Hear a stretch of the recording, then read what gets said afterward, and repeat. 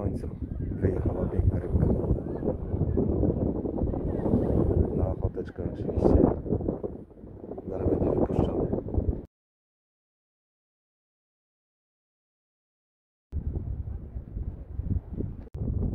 W końcu piękny pasiaczek.